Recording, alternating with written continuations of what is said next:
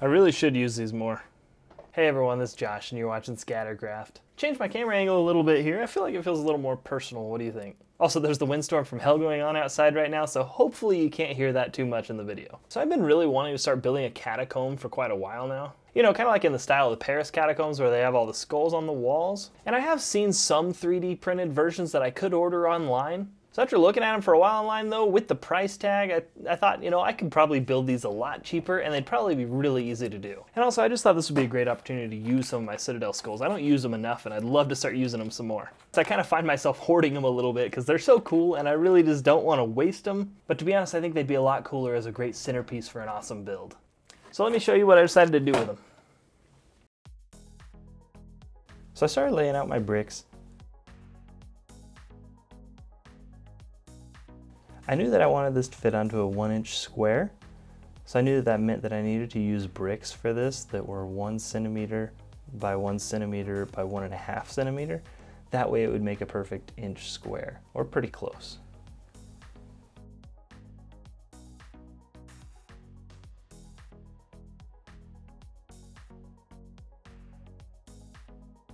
I just got those one centimeter by one centimeter blocks out with my Olfa knife. Just show that everything doesn't have to be done with the Proxxon.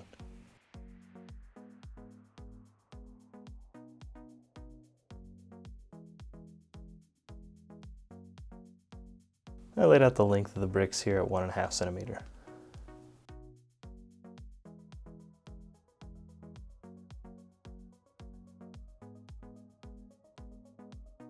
And just cut all those out.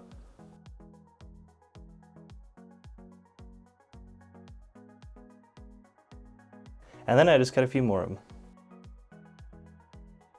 Some of these pillars to match with this raised platform I built in my Dwarven Brewery build. If you haven't watched that, the link up here will take you to it.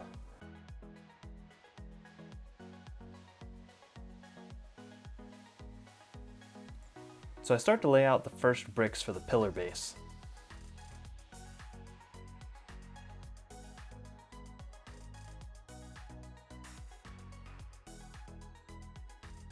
And this is why the one centimeter by one centimeter by one and a half centimeter measurements matter for this. It actually makes the bricks a perfect one inch square.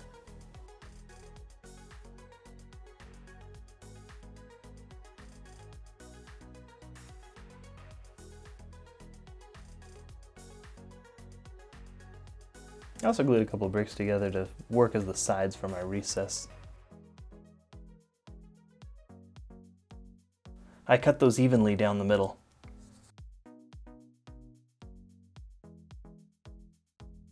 I just measured those out with the sides of the base and cut them to size.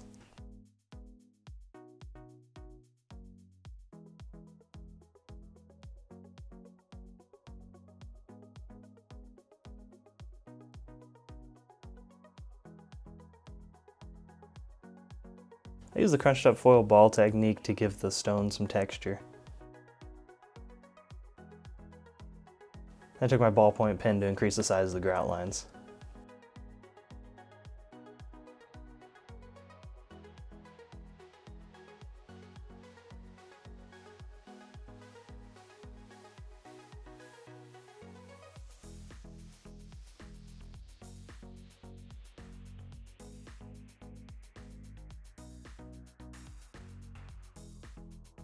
I glued on these uprights and I put in a middle piece to give it a little extra strength.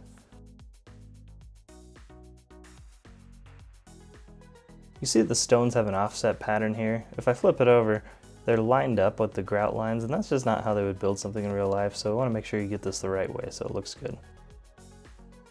And I just glued on the next layer there. Careful not to use too much glue so it doesn't seep out.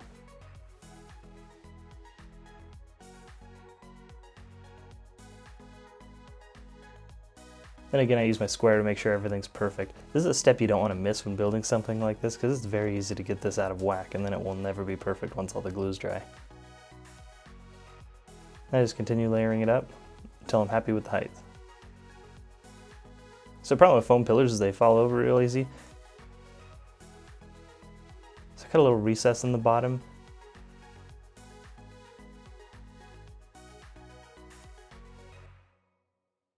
And I glue some rocks that I got from the dollar store in there to help give it a little weight, help it stand up better on the table.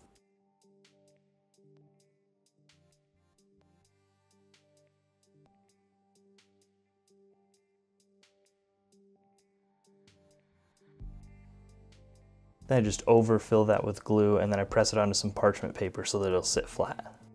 Once it's dry, it'll pop right off the parchment paper and have a nice flat bottom.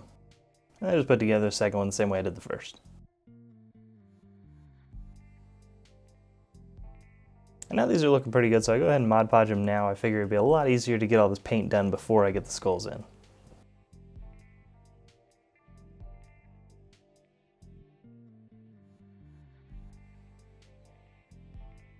Alright, now that the Mod Podge is done, it's time to apply the Citadel skulls. These skulls are really great. It comes with 340 of them, and I've used so many of them for different little projects and still have a ton left. Something like this can really make your project pop. I'll put a link in the description. These skulls are something I don't regret getting, and I'm always finding a new use for them. So to get a better look, I just use a mix of the skulls with jaws, the skulls without jaws, a few of the skulls that have cracks in them, just to get a variation. And I was just going to put them inside the recesses, but I realized they were too deep and it would take a lot of skulls to fill that up. So I measured out a few little spacers to put in there and Mod Podged them up, and they seemed to help a lot.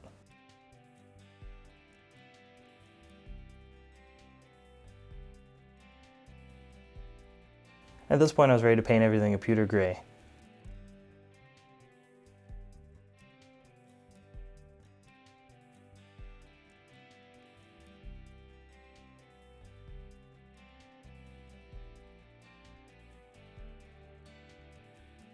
Then I just dry brush those in an off-white.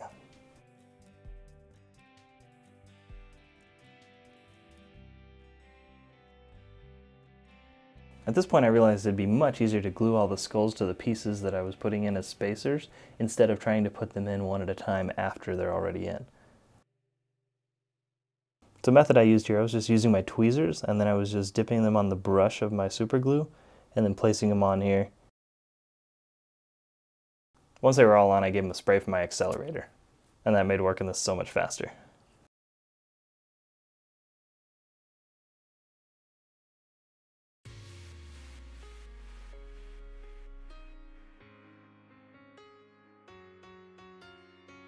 Start painting all the skulls with a dead white from Vallejo. The first ones were a little thick, so I found that it was better to do about a 50-50 of the dead white to water.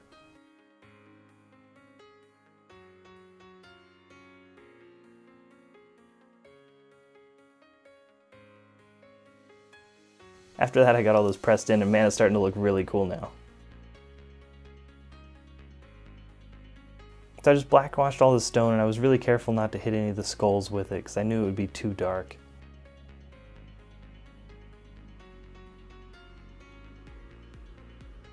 After that I used my Army Painter Strong Tone wash and that gave them a really great aged look.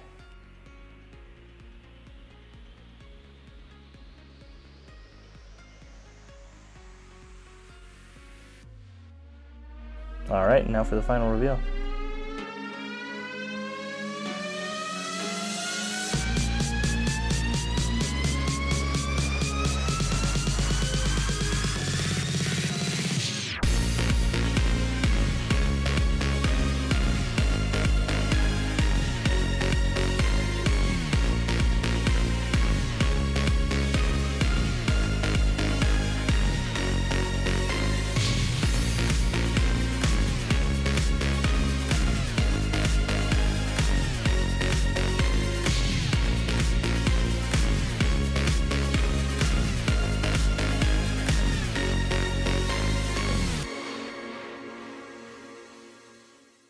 Alright, I'll be honest, this build turned out far better than I could have hoped. The Citadel skulls are a real great product. They have such a fine detail on them, and the strong wash that I used, Strong Tone Army Painter, just gives it such a lifelike look. My original plan was just to build a few of these and maybe a few other catacomb pieces, but I really think I might turn this into a big project. I could really imagine these around some evil altar and maybe some more catacomb pieces on the walls, maybe some pieces with like some caskets built into them. There's a lot of things I could do with this. So originally I was thinking about putting some evil runes carved into the side, but I left them out because I thought it'd be a little more modular that way. That way instead of just using them as like an evil necromancer's lair or something, I could use them as like city catacombs where they might be haunted or something. Just something that's a little more good oriented as well. Alright, well this was a super fun build. If you liked this, please share this video with your friends. It really helps the channel grow. And also please like and subscribe, and thanks so much for watching Scattercraft. Bye.